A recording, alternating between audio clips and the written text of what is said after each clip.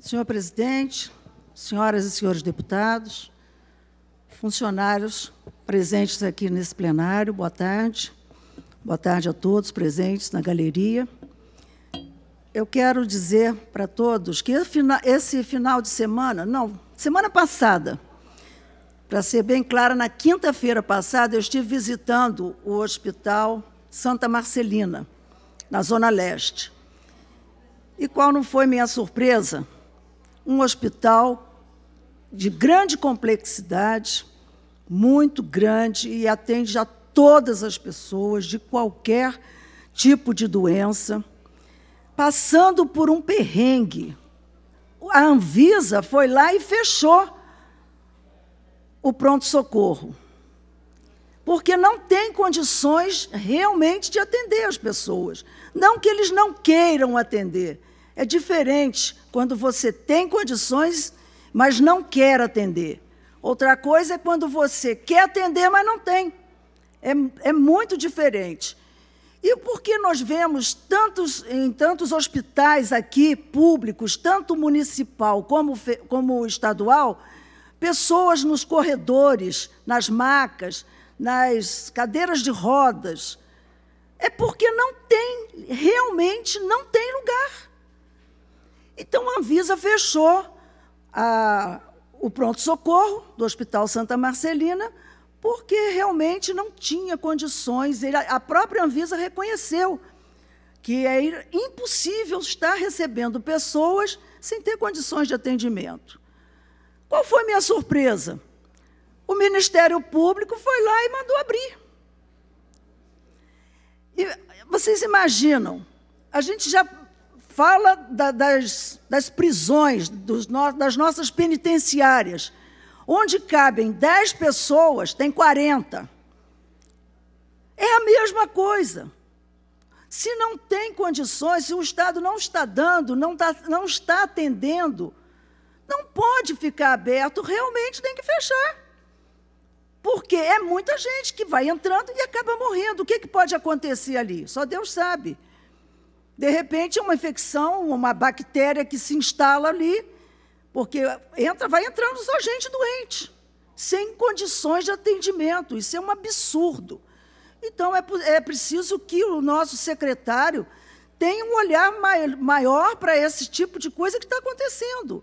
E as pessoas, infelizmente, coitadas, não estão podendo ser atendidas, porque não tem espaço, não tem é, leito, não tem como, não tem médico, falta médico, falta pessoal, falta remédio. Enfim, está realmente na UTI a nossa saúde pública. Bom, isso é uma coisa. Outra coisa que eu queria deixar aqui também registrado, nobre presidente, é a situação do policial.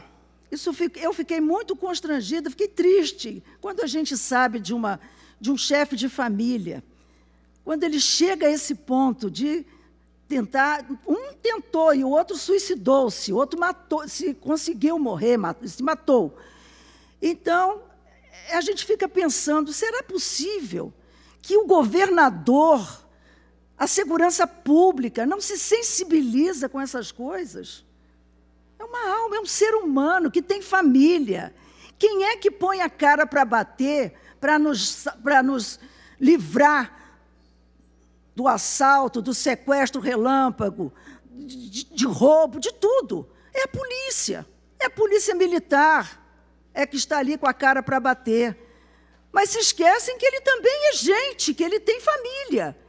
Ele tem filhos, ele tem esposa. E vive numa pressão, porque o que, que acontece? Um salário indigno. Salário indigno de sobreviver. A pressão que sofre então a pessoa vai ficando doente, fica depressivo, não tem condições, às vezes, de responder em casa tudo o que é necessário, porque não é porque não queira, porque é impossível. É e eu fico assim, pensando, até quando nós vamos ver isso? E não é só na polícia civil, na polícia militar, não. Na civil também está crescendo muito o número de suicídio entre os policiais. Isso é alarmante, ninguém está dando bola para isso. A gente fica aqui falando, falando, falando, falando, e não, a gente não vê é, providências, nobre deputado Telhada. Então a gente fica, sabe, vou continuar falando, sou solidária a todos os policiais, quer ele federal, estadual, municipal, não importa, nós estamos aqui para unir forças, para ver se muda alguma coisa, porque do jeito que está, não dá mais para aguentar. É muito triste, é lamentável, num, numa cidade como São Paulo.